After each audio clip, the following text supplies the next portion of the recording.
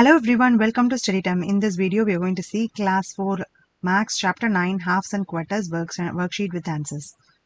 Um, already I have uh, posted a video explaining this chapter with uh, solutions. If you have not gone through, you can just go through that video so that it will be very easy for you to understand this worksheet.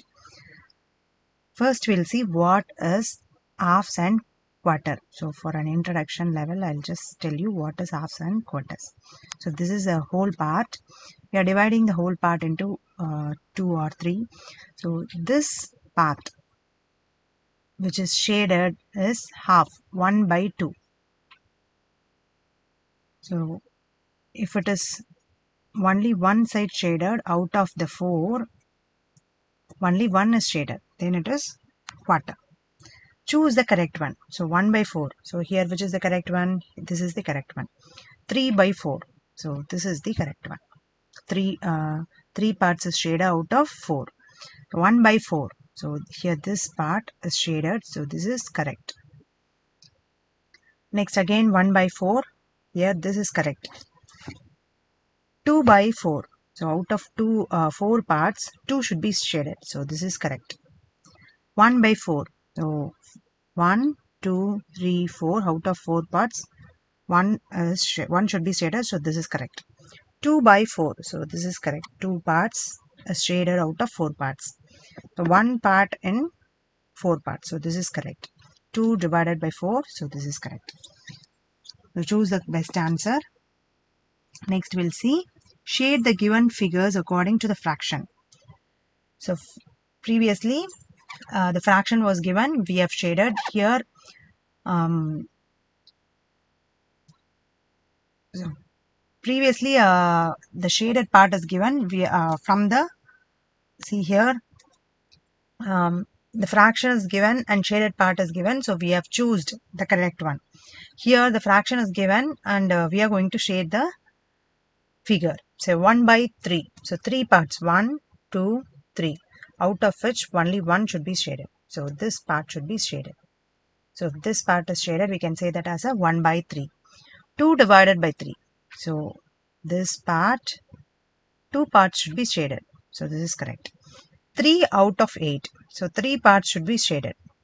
1, 2, 3 should be shaded. 5 divided by 8. 1, 2, 3, 4, 5. So any 5 parts should be shaded to get 5 divided by 8. 10 divided by 24. So 10 parts should be shaded.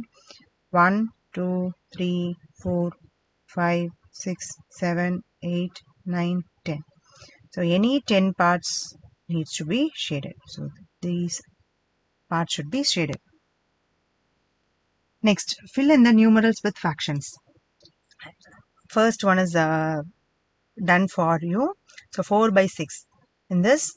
Whichever is on the uh, which is below the line that is called as numerator. See you usually you will be writing like this 4 divided 6 so whichever is number is written on the top that is numerator. The number which is below is denominator. Similarly for 3 by 8 3 is numerator 8 is denominator 6 divided by 9, 6 is the numerator, 9 is the denominator. In 7 divided by 8, 7 is the numerator and 8 is the denominator. In 8 divided by 9, 8 is the numerator and 9 is the denominator. In 3 divided by 5, 3 is the numerator and 5 is the denominator. In 2 divided by 6, 2 is the numerator and 6 is the denominator. Next fill in the blanks. Half of liter. So, half of a liter, we can say it as 1 liter equal to 1000 ml.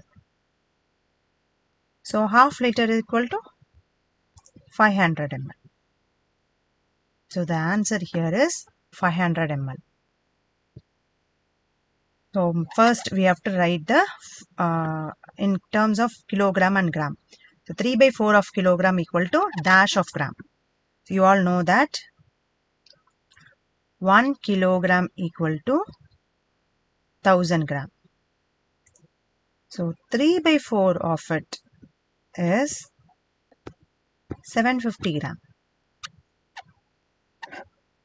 750 gram.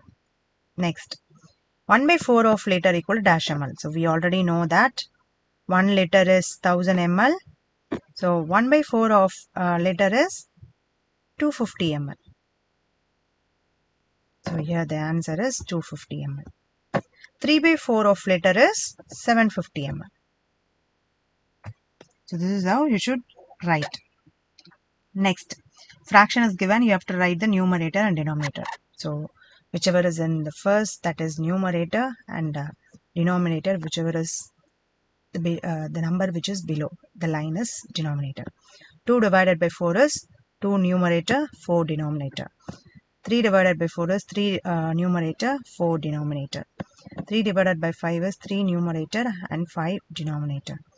2 divided by 8 is 2 numerator and 8 is the denominator. So this chapter worksheet ends here. Hope this video is useful and understanding. If you don't understand this uh, worksheet anywhere, uh, you can just go through the previous video for which I have posted for textbook solutions. And if you want to solve this as a test, you can just pause the video and uh, solve. Hope um, this video is useful. Thanks for watching.